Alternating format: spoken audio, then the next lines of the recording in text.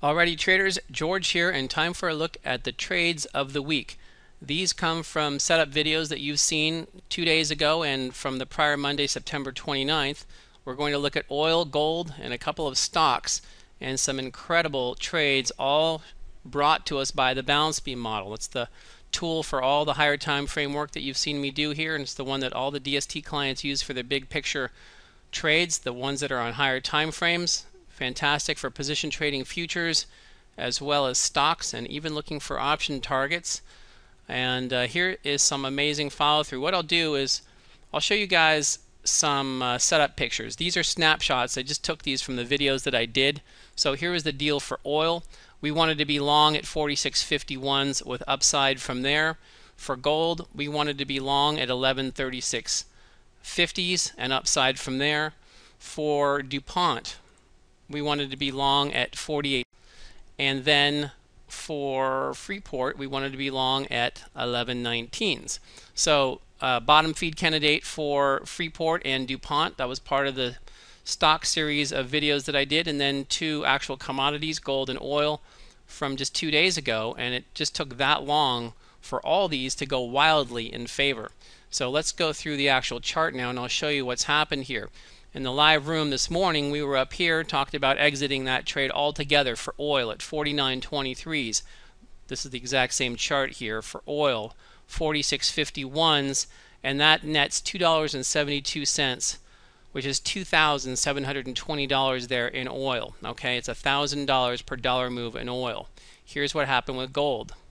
Here's the setup in gold, 1136.50s, target one easily hit, and a lot of you guys exiting up here into the 1150s for that second push, obviously uh, getting right up into that region.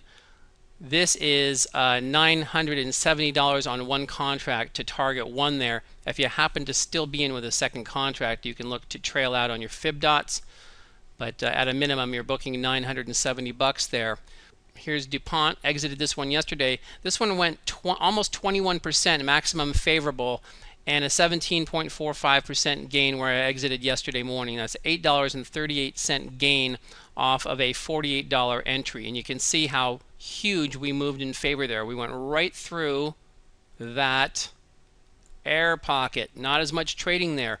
Great spot to look for a long as we pass back through that balance beam. And there's some incredible price action to follow.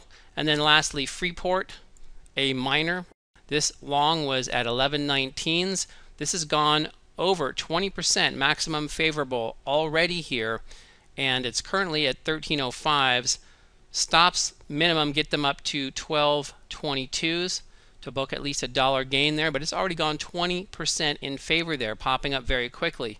Also driven by that absence of trading. So we have this nice balance beam spike here, a lot of trading, not as much as we start to move up that is a great looking bottom feed candidate. Something you do not want to weight yourself towards, but one that is uh, absolutely worth putting into the portfolio when it sets up correctly. And there's Freeport uh, really off to the races there. So in just two very short videos, I showed you some very powerful setups on the balance beam model.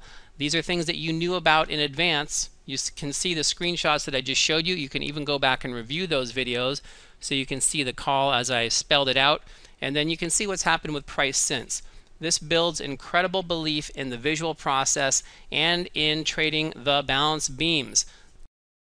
Make sure you're on the right side of the trade. There are plenty of traders that are looking to go long or short on the wrong side of a balance beam, and it really contributes greatly to the price action, in addition to traders wanting to be a part of that action that just can't stand not being in there, and so there's panic buying and selling as well.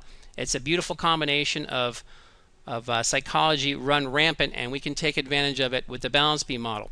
You can use the link at the bottom of the video. You can hop in the live room. You can watch me day trade some markets and ask me some questions about the balance beam and see it firsthand as I'll be looking at more markets uh, tomorrow morning. So there's your trades of the week, four incredible, huge moves, all spelled out in advance on the balance beam. That'll do it for now. We'll see you back in the live room.